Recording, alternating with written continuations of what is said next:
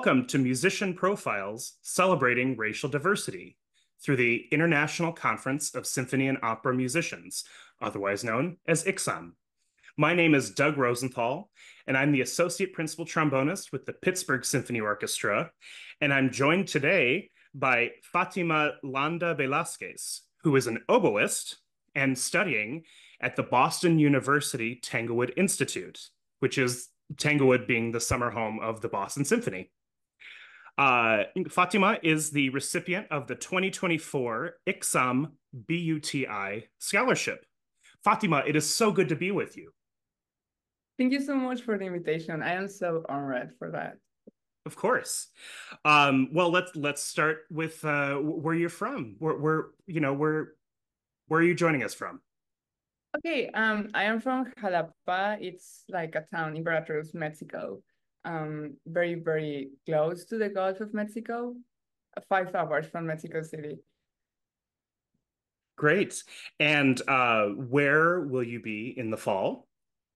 Okay, I go into Curtis Institute of Music, and I am so glad for that.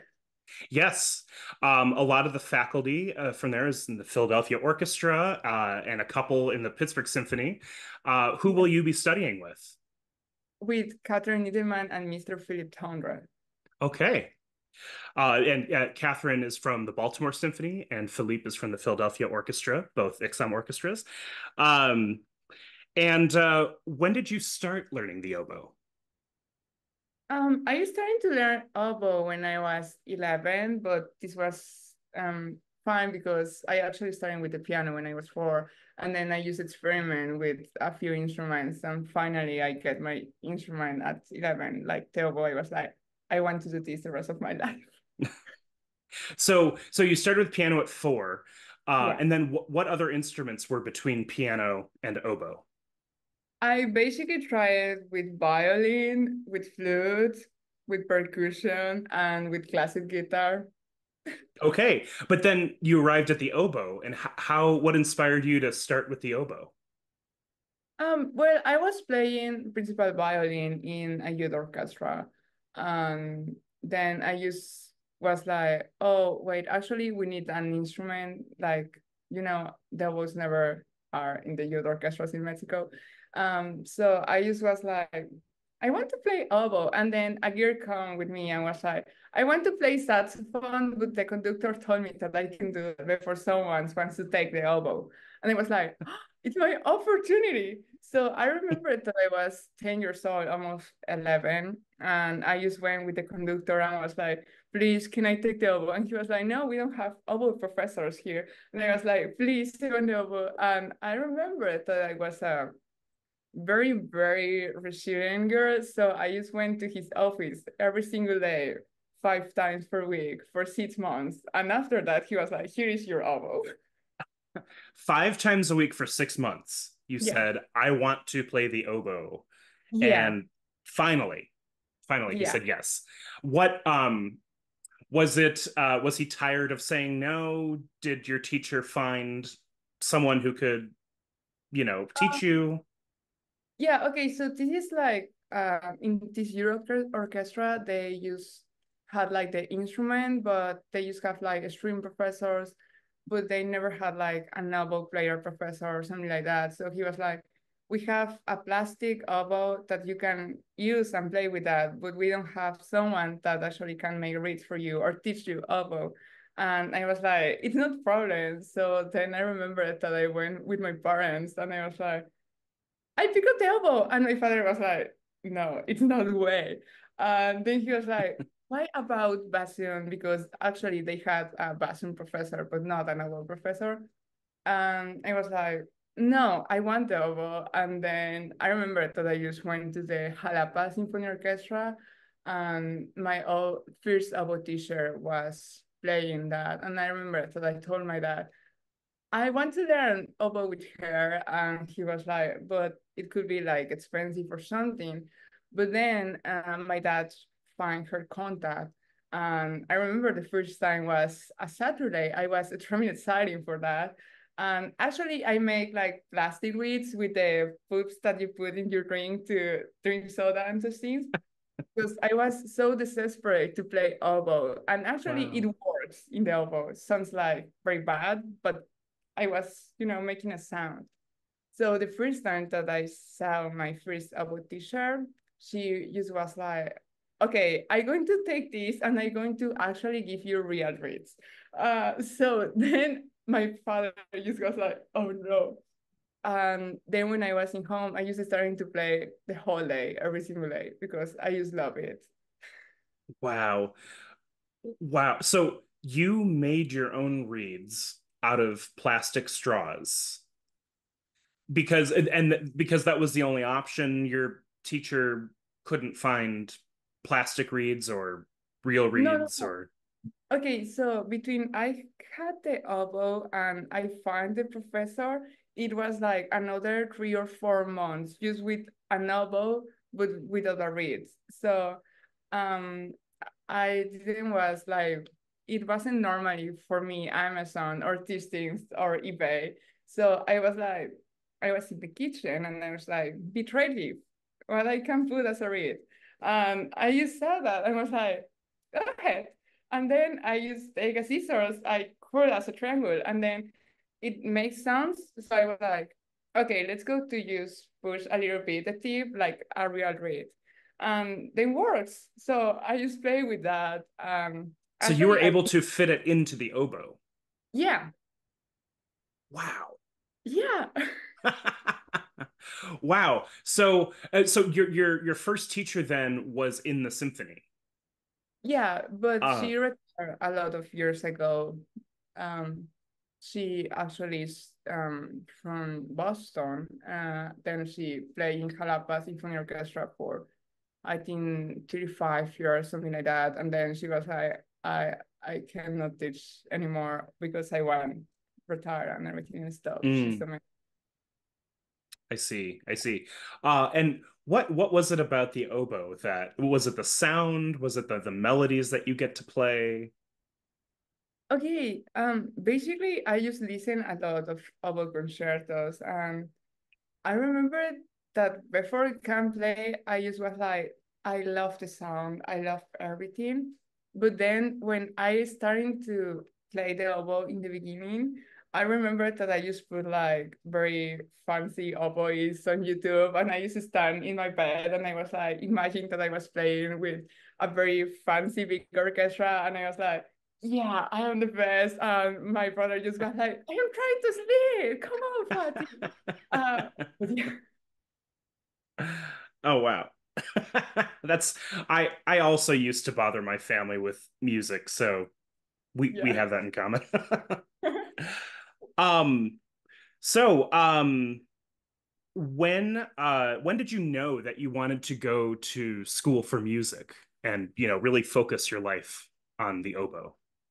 Okay, I think that I really know that I want to be a musician when I was so young, but I was like, I want to play in orchestra. Like I was like nine or 10 years old. Um, but I don't want to be a pianist. I don't want to be a violinist. So I need to find my instrument. And then was the oboe. And I remember the first time that actually I take a real read, oboe read, and I just play C major or something like that. I, you know, automatically I just imagine like playing the oboe as a soloist or playing very good solos like Mahler or something like that in orchestras. And I was like, wow, I really want to do this the rest of my life. And then I just make sure of that and double check one day when I was sick and I couldn't practice. So actually I used to start to feel so bad just for not practice because I love my oboe. So it was like, I want to do this the rest of my life or my life going to be no happy life. Wow. Well, so you know, that's that I, I I understand. I being, you know, not being able to play and being like, oh, this is what I want to do. so Yeah. um well that's that's great. And um uh, uh obviously you'll be doing a lot of playing uh when you get to Curtis in the fall. Um how did you hear about uh, this scholarship? Again, uh, Fatima is the recipient of the 2024 ICSOM, BUTI scholarship. Uh, that's a lot of letters. uh, so tell us how you heard about it. Okay, so basically, in my free time, I am like a person that love read articles about everything um, because I think that is a very good way to keep your brain working and actually learn new things. So I remember that I was trying to find, I don't remember exactly what team, but I use um, appear a website that is Senza Sordino with an amazing article that told about change the difficulties in the war for people that don't have the source or that come from very difficult, you know, situations and everything and stuff. And I was so impressive for that. I was like, wow, uh, I really want to do it one day. And yeah, I remember that was like, it's going to be so cool if I can do one day this. And then this year just happened. So I actually am in shock. It's just like, just expect one thing one day to dream with that and then just happen. It's just like, wow. Wow. Um, I, I, find it so fascinating. And for people who are watching who don't know, Senza Sordino is the newsletter of ICSOM. Um, and the audience of ICSOM is usually people who are members of those orchestras. Um, but the fact that you found it, you were just online looking for whatever related to the yeah. oboe and studying, right? Correct? Yeah. yeah, this is a team. I basically um, find a team on the internet that is curious. Like, I don't know, one day I just have free time and I am like, oh, how many women's playing this orchestra comparative with the men's and those things. And mm-hmm. then I just get a little bit of information and then I just keep going and keep going and keep going. Uh, so you just need a topic and then you have like a whole world to read or to find and, and it's so exciting when you find something like this article wow uh, that, that's great. I'm I'm I'm loving these stories of. I mean, you're you're unstoppable. Um, you were going to play the oboe, and you are going to play the oboe, and you're gonna do all this research. And I, I just I'm so I find it so uh, admirable and inspiring. Um, so uh, well, excellent. Um, what what is it like to study at BUTI? Oh, okay. So um, we have masterclass, but also we have a lot of concerts that we are playing in the concerts, but also BSO concerts, faculty concerts. So it's actually so balanced. Like you have enough time for practice, eat, make friends, um, practice more, make reads, and go to concerts. So I think that is really important, especially for music students. Like um, go and say like, okay, I am working for that, but this is going to be my future, so can listen um, the professors and everything and stuff, or just a symphony orchestra can be like, oh, okay, I am going well, or I can take this, or I can change this, or I can take this new idea. So actually it's stressed about that. And of course, you can do hiking or play frisbee in your free time because also rest is important but you know keep practicing work hard and eat well dream you know everything and do laundry. So actually it's very very nice. Great. So uh, things are scheduled in a way where you can do all the learning and playing that you want to do yeah. but you're also enjoying i mean just being in the berkshire mountains uh, yeah it's like, so beautiful out there. Yeah every day that i just wake up i just see the windows and it's like Wow. And then I just started my day so happy because if you are having like, you know, like to read is not good or something, just go and see the sky and going to be so good. Yeah. Um I, I don't know if anyone's told you yet, but um that part of the United States is where a lot of artists have um done their work like especially like in the 1800s there were a lot of authors uh, dancers, composers. Do do you know about the history? Yeah, I found it. Oh, you of course you did. you would you could probably teach all of us more just from all your reading than, than what we've. No, learned. it's just like I really like to um, know where I am, so. I like to find the history of the house that I close to BUTI and also the people, the musicians. Like a lot of musicians actually trust Leonard Bernstein, like jazz musician, pop musician, classical musicians. So and actually we have like Yuja Wang two weeks ago or three. So it's just like you can read and say like, wow, the principal um, player in this orchestra went to BUTI in this year. Um, the principal conductor in this big orchestra in Europe also went to BUTI when he was a child. So it's just like a lot of history that is so impressive. And that is like, wow, I am here. It's, it's so impressive. Like, well, I, uh, I mean, I mean, you're unstoppable. So it, it only makes sense that you're there. Um, well, that, that that's great. And uh, do you have any of all these experiences that you've been talking about? Do you have any favorite concerts or um, outside activities? Anything so far this summer? It's a very very hard question. Mm, I think that I can pick up a favorite because I have a lot of moments that actually teach me a lot of things, like personal things, but also music things. Um, so I yeah, I don't have a favorite because I was everything is my favorite. I love that. I love that. Um, what is um because most of the people watching this will be classical musicians. Uh, what's some of the repertoire that you've played that you've really enjoyed? Okay, as a chamber musician or as a soloist? Anything, anything that comes to mind.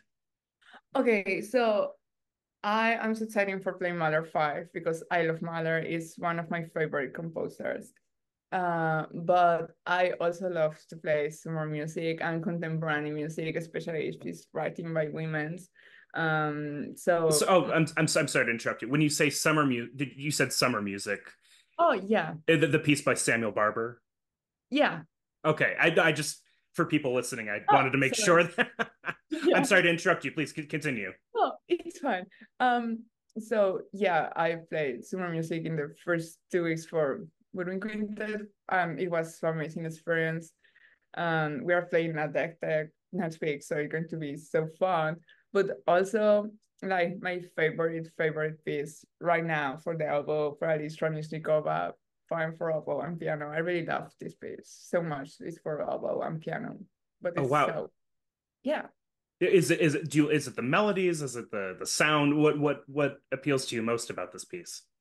Okay, so um, Marina Dranishnikova was a composer um, and a pianist. So she wrote this piece for a very dramatic love history. Like she was in love for one voice, it didn't work, and then she mm. wrote an amazing piece. Um, so I just think that she really, really represent a lot of emotions in the melody uh, but also it's like the harmony, the sounds. Like she actually knows so well how to work the oboe when she was a pianist. So I I think that yeah, she's just amazing. Hmm. Well, that's great. And are you going to be able to play that on a recital? Have you already performed that on a recital? Uh yeah, I played in uh for my master class that and yeah, probably oh, great. recital too. Great, yeah. great. Uh, oh, and who was who uh, led that master class? Um, was Mr. McEwen, the um, ah. second oboe of the Boston Symphony Orchestra. Yes. We had um, master class with the BSO members as BUTI students. Yeah. Great. That's it sounds like you're having a terrific summer. Um, and uh, so we've talked about what your experiences have been so far. Um, what have you learned so far? with oboe and music what you know what topics come to mind okay this is another hard question. I have a list of that in my notes. Um but i think that if i need a reason of that like the most important things is like um appreciate yourself um work hard. Sometimes we are just like i need i need this this this this but we are like making progress. So we actually need to say, okay, this is you know better than yesterday, and this need to practice more. Um, and also feel so grateful for the people that is around you and that love you. Um, yeah, I think that this is like my best resume about my notes. Oh wow. So so um you're learning how to practice, you're learning you're getting these great experiences with uh, having support from the people around you. Yeah. That's I'm so happy to hear that.